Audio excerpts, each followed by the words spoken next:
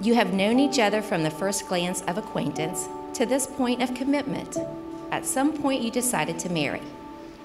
From that moment of yes to this moment of yes, indeed, you have been making promises and agreements in an informal way. All those conversations that were held riding in a car, or over a meal, or during long walks, all those sentences that began with, when we're married, and continued with, I will, and you will, and we will. Those late night talks that included someday and somehow, and maybe, and all those promises that are unspoken matters of the heart. All these common things and more are the real process of a wedding. All right. Dear Ashley, I can't believe the big day is finally here. These last five years with you have absolutely flown by, and I can honestly say that they have been the best years of my life. I still vividly remember our first date at Harrison's and the first time I saw you. Even though we had our fair share of beers and shots, getting to know you that night and every day after has been absolutely amazing. You are by far the most caring and generous person I know, and every day I'm amazed by how smart and down to earth you are. Brad, I can't believe our wedding day is finally here. Today I can call you my husband as we celebrate with all of our friends and family. You already know this, but due to growing up with divorced parents, I have a pretty skewed perception of marriage. I never really thought it was a possibility for me, and I didn't feel like I was good enough to find that lifelong love in person.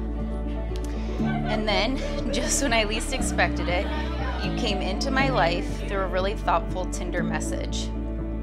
I wish I saved the message, but I do remember you tried to guess where I was and what I liked to do based on my pictures. That was the first time you made me feel special, and I hadn't even met you yet.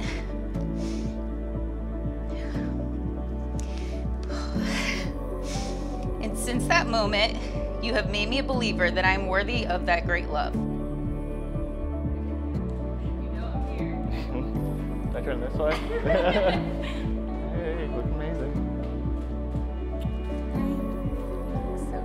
Yeah, I love everything about you, from your random french fry cravings to how you cover your ears when you're watching a scary movie. And I'm incredibly lucky to be able to spend the rest of my life with you.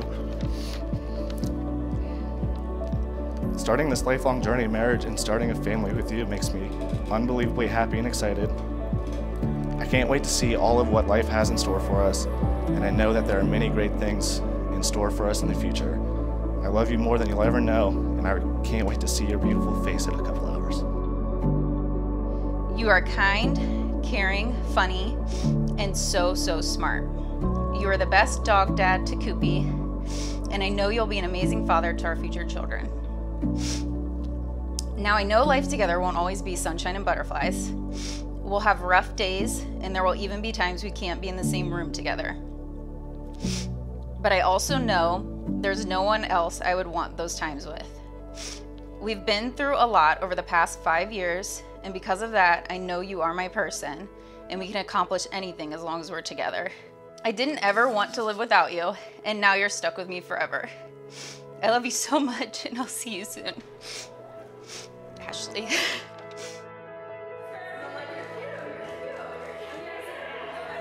He called me up.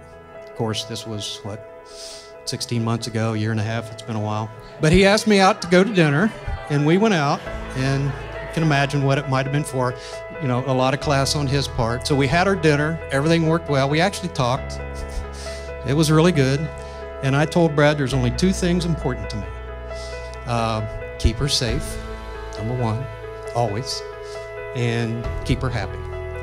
And that leads me to my toast. Um, my toast is may you find happiness every day that you two can share together for the rest of your lives. They always say younger sisters look up to their older siblings, but for me, it's always been the opposite. First, you've taught me to be grateful for every day and to seize every opportunity that comes your way, no matter how scared you are. You've taught me that it's really not that funny to give your number out at bars when guys ask me for mine.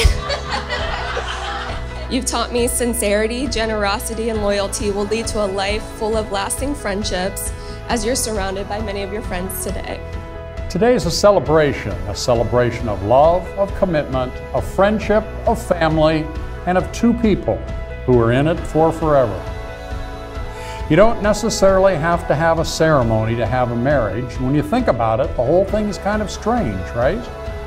You're standing up here looking fancy, holding flowers, and being stared at by basically everyone who has ever meant anything to you.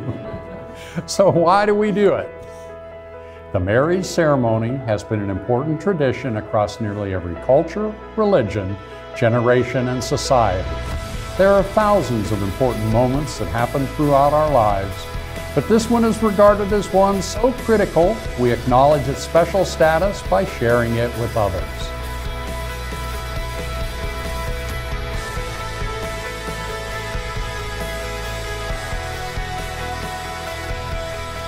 Trying to describe love is one of our favorite pastimes.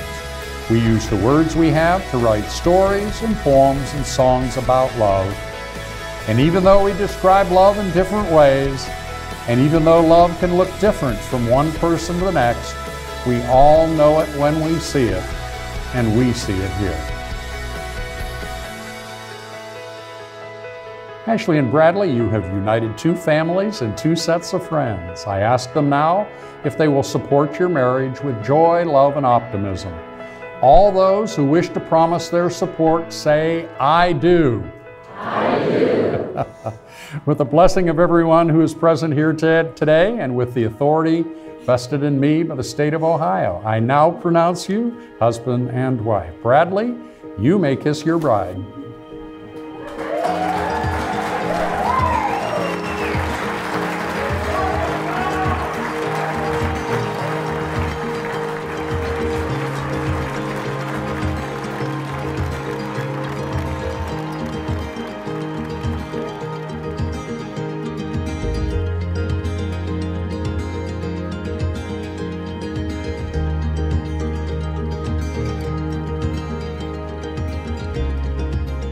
And lastly, you've taught me that blind dates can sometimes lead to a lifetime of love and happiness. So Ashley and Brad met, as many millennials do, on somewhat of a blind date. Um, and I actually lived with Ashley at the time. I just remember coming home and Ashley was kind of getting ready and she said she was gonna go grab a drink with a friend, or a new guy. She was gonna grab a drink with a new guy. And then all of a sudden she gets to the door and she kind of stands there and she's like, I don't think I'm gonna go. So I did what any good sister would do, and I basically helped her form an escape plan, right? So she was gonna text me some code word. I was gonna come up with some elaborate scheme, disaster that made her need to leave immediately. Um, took a little bit of convincing. You're welcome, Brad. but she did end up going on that date. And I'm sure none of you are surprised, but that escape plan was never enacted. Um, I actually ended up uh, texting her like a couple hours in just to make sure everything was going okay, and I just got a couple smiley faces in return. I know that you are everything to Brad. He, he, you mean the world to him. You mean the world to me now, and I, I would not want to be anywhere else other than right here. And to that point, um, everybody raised their glasses. I love these two. I'm excited to continue this journey and see where it goes from here. Congrats.